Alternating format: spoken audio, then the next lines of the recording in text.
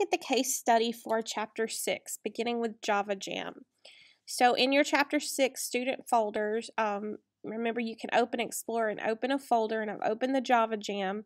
Make sure you are opening from your Chapter 6 uh, student files.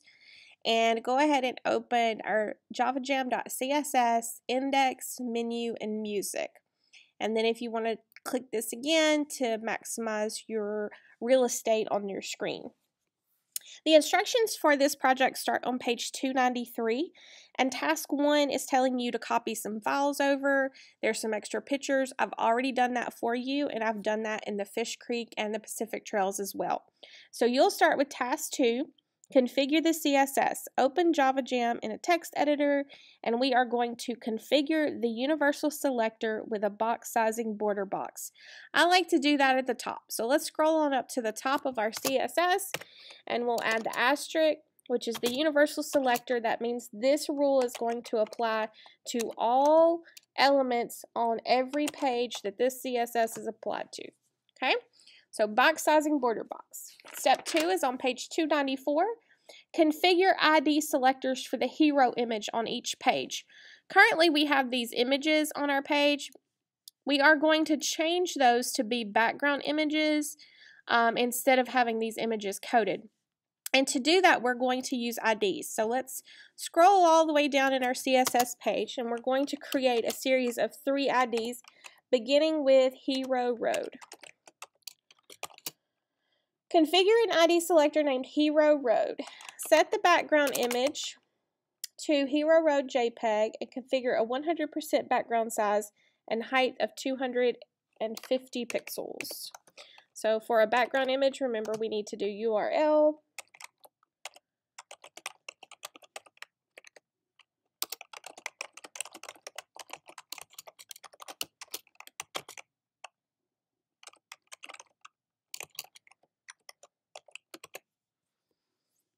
Okay, once you have that, let's just copy and paste it.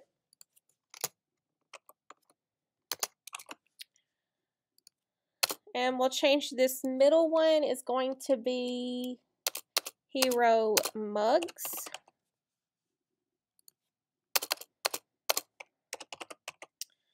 And this last one is going to be Hero Guitar. Oh, that makes me think of Guitar Hero. That was such a fun game. Okay. Step three says to edit the style rules for the main selector so that the hero image will fill the entire area. So if we couldn't find it, um, it says edit, so it already exists. We can do uh, Command F and look for our main section. And there it is. So change the left padding to zero. So we can just add a zero there. Change the right padding to zero. Configure a 250 pixel left margin and top padding of zero. Okay, so double check your main section. Make sure it appears similar to mine. We added background color, padding top, margin left, and then we change the padding left and the padding right to zero. Step four says since the main content area no longer has any left or right padding, we're going to configure descendant selectors um, so that those elements within the main element have a 3em left and a 2em right padding. So a descendant selector is a selector, so we're going to say, I'm scrolling down to the bottom, we're going to say go to the main section and find any H2s. Then go to the main section and find any H3s. Go to the main section and find any H4s.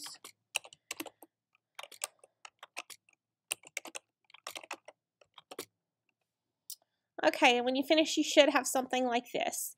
Each selector, since we're applying the same rule, to multiple selectors, even if they're descendant selectors, we can separate those with commas. Okay, step five says configure the left column navigation area. Add style declarations to the nav element to configure an area that floats to the left and is 200 pixels wide. So find your nav section and we're going to do float left width 200 pixels. Oh, see my typo. Step six says configure the colon link, colon visited, and colon hover pseudo classes for the navigation hyperlinks. Um, and it's got our text colors there. So you can add it here. I'm just going to add it right below my nav A's, or you could put it at the end, your choice. Now, because we only want the anchors targeted that are inside the nav section, we do nav A colon. And remember, we have to type these pseudo classes in order.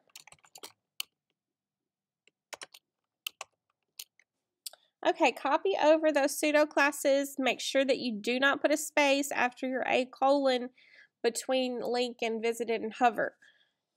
That's the most common mistake I see um, when coding pseudo classes. Step 7 says you will organize the navigation hyperlinks within an unordered list in a later task. The navigation area does not show list markers, so we need to code a nav UL descendant selector to configure the unordered list in the navigation area only to display without list markers. So let's just add that here.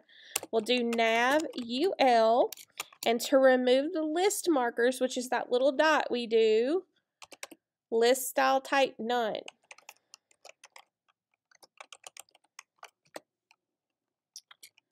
And it said a padding left of zero. Step 8, modify the wrapper ID. So here's our wrapper ID. Configure a dark color background. So we're going to change this background 231814 and that's going to display behind the column of the navigation um, behind the navigation column. It'll be a dark color. Modify the H4 selector rules. So the H4s are only on our music page. And there we want the text currently in, on our music page. If we take a quick look in the browser, these H4s are sentence case. So we want them to be all uppercase. So without changing our actual text on our page, we can add a text transform property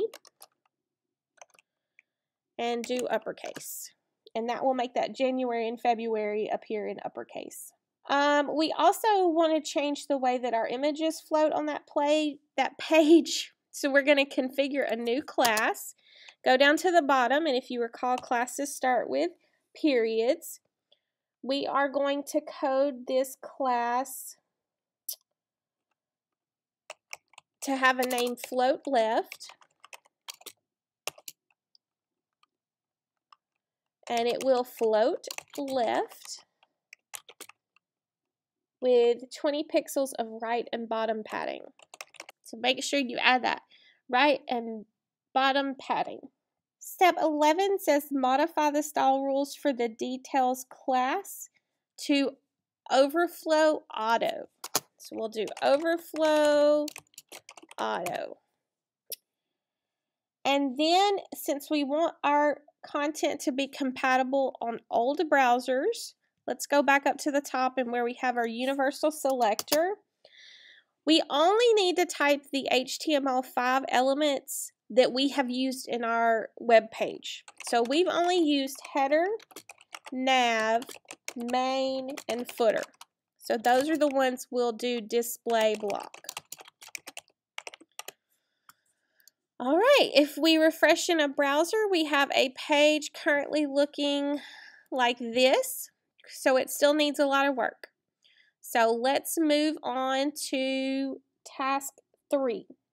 Step one under task three says add the following HTML5 shim code in the head section of the web page link um, to allow our pages to display property, properly on Internet Explorer 8 and earlier versions. So inside the head, anywhere really inside the head, but we're saying uh, right before the head closes, And if you have this typed in an earlier project, you can copy it over. Um, if not, type it this one time and then we'll copy it over from now on. Step two says configure. Oh, if you didn't catch on, I'm on the index page. Hope you caught on to that. Um, step two says configure the left column navigation area, which is contained within the nav element. So here we are in the nav element. We want to remove any NBSPs that may be present and code an unordered list to organize the navigation hyperlinks. Each hyperlink needs to be contained within LI tags. So we'll have an opening unordered list after our nav opens, and this unordered list will close before our nav closes. So you'll have something like this.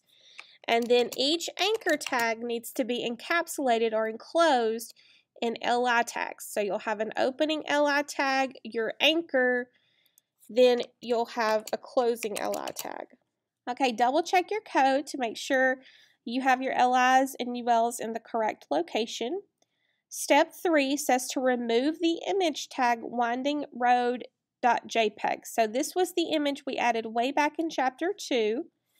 We're going to delete that and configure a div element assigned to hero road ID between the opening main tag and the opening H2 tag. Now, this div is going to be empty. There's not going to be any um, elements or anything in it. We're just assigning the ID hero road that we configured earlier in our CSS. And this is going to add the background image. So now if we load this in the browser, we have our image here. Now notice here, the image is starting to repeat, okay? So we could go back to our CSS to fix this issue. And in our hero mugs, instead of having a background size of just 100, do a background size of 100 space 100. So that's saying 100% of the height and 100% of the width. Okay, and now if we refresh, we've taken care of that. Okay, now onto the menu page. We have our menu page open. We want to configure the left column navigation area and the shim in the same manner.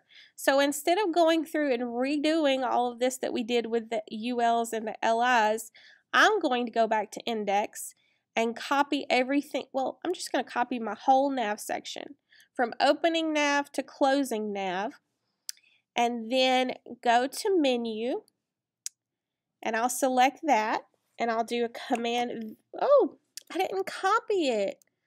Oh, okay. okay. Oh, no, didn't mean to cut. I meant to copy. Copy. I did a Command C and then a Command V to paste. Messed up again. No, I'm not. We're good. We're good. And I'm, we're going to do that with music. So I'm going to go ahead and do it for music too. Here we go. All right, now we're good. Now it also wants us to copy that shim. So I'm going to go ahead and copy that shim and even though it's only giving the instructions for me to do this with the menu, I am indeed letting you know that you're going to copy that shim to all of your pages. So if you want to go ahead and do it while you have it on the clipboard, go right ahead. Okay.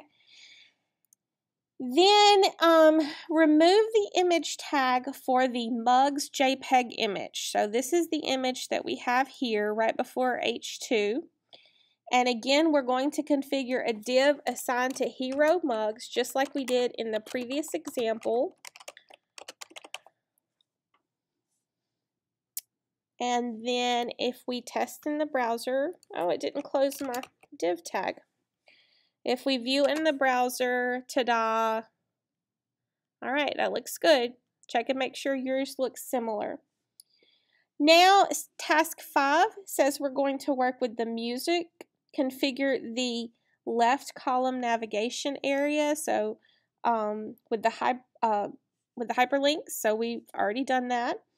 And add the HTML5 shim, which we've done that. And we're going to configure an element assigned to hero guitar between the opening main tag and the H2.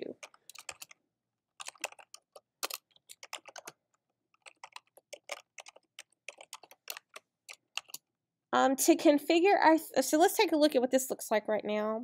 Do Alt B. Okay, so now we have the guitar here. And we want to change the way these appear. Notice that that text transformation caused this to be um, all uppercase.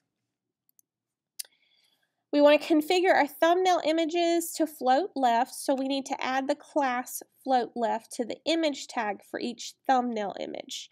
So for each of our thumbnail images, which we have coded as image source, um, where are our thumbnail? Right here. So for each image, anywhere inside that, I'm going to add it at the end, we'll do class equals float left. And then again for Tahoe Greg, after our height, I'll do class equals float left. Now if we save and view in the browser, nothing changed. Oh, because I didn't have it stretched out enough. But yes, now they are over here. Well, they were over here before, but the text was messed up. It worked. It did what it was supposed to do. Um, okay.